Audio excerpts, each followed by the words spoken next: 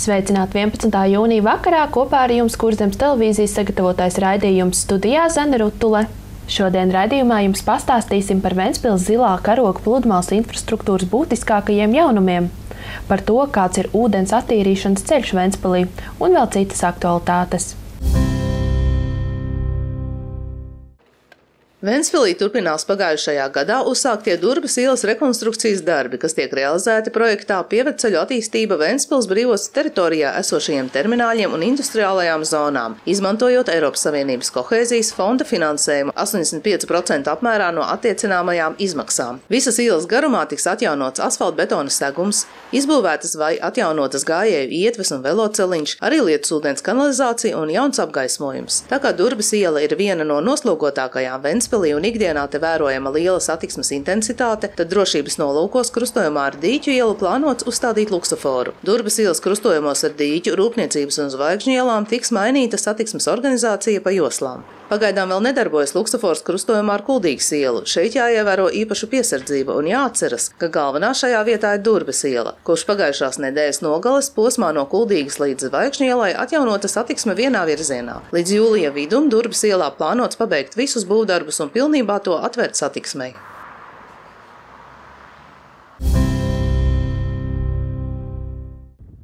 Jau sākusies aktīva vasaras sezona, kad daudz turistu, ventspilnieku un pilsētas viesi savu brīvo laiku pavada pie jūras. Arī šogad Ventspils zilā karoga pludmalē veikti dažādi infrastruktūras uzlabošanas darbi. Viens no būtiskākajiem ir laipu atjaunošana. Projekts, ko mēs realizējam sadarbībā ar Latvijas vidas aizsardzības fondu, iz, tiek rekonstruēts eh, trīs laipas.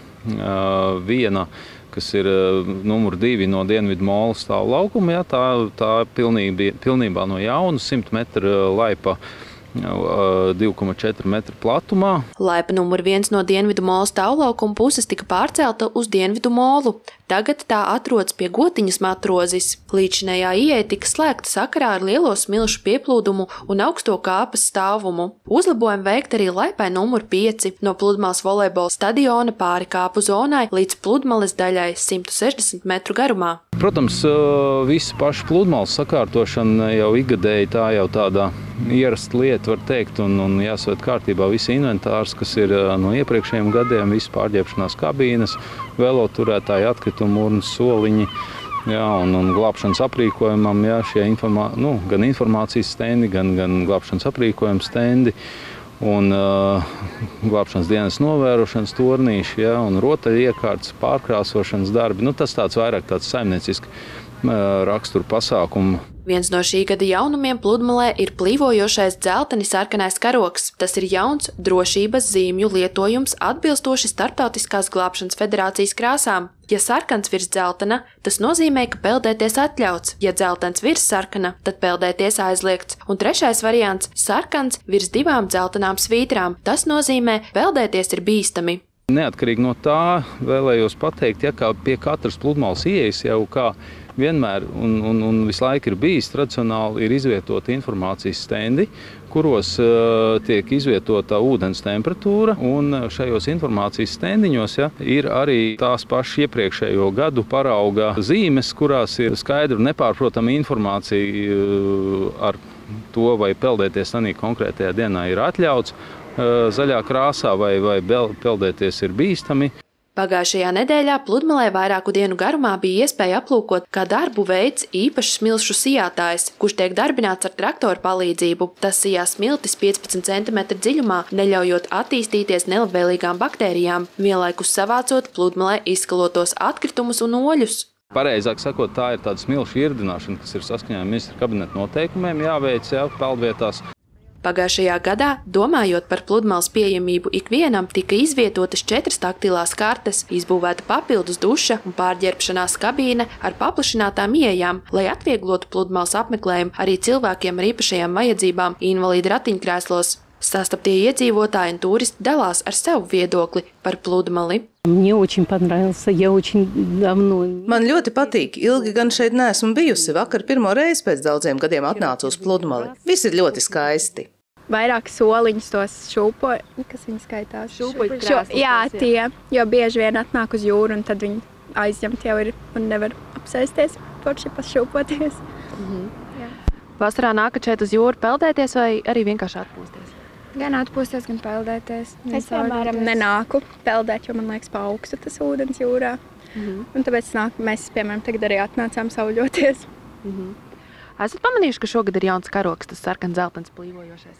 Nē, Nē kurā vietā viņš ir? Pat pie galvenās ielas ir sarkans zeltains karoks. Nē, es neesmu pamanījusi. Pļāš ļoti čistī. Pludmale ir ļoti tīra. Vairāk vajadzētu kādas kafejnītes bērniem, tas pietrūkst. Bet vispārējais ir lieliski. Ļoti labi var atpūsties. Arī bērniem patīk. Mēs esam apmierināti. Pludmalē ir iespēja gan aktīvi atpūsties, gan vienkārši baudīt silto saules starus un jūras gaisu. Šonadēļ sinaptiķi sola, ka gaisa temperatūra varētu sasniegt pat plus 30 grādus pēc Celsija, bet īpaši spēcīgs būs ultravioletais starojums.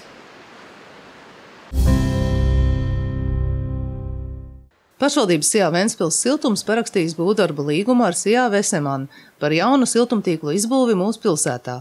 Jauno siltumtīkla kopējais garums būs 562 metri.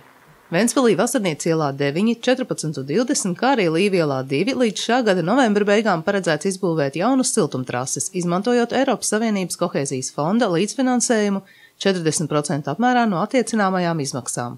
2018. gadā īstenojot projektu Ventspils pilsētas siltumapgādes sistēmas efektivitātes paaugstināšana jau tika atjaunotas sešas siltumtrases 525 metru garumā, nomainot esošos cauruļvadus ar rūpnieciski izolētām caurulēm. Siltumapgādes uzņēmums aicina privātmāju īpašniekus apsvērt iespēju pieslēgt savus īpašumus centralizētajai siltumapgādes sistēmai, tādējādi izvēloties ērtāku apkuras veidu.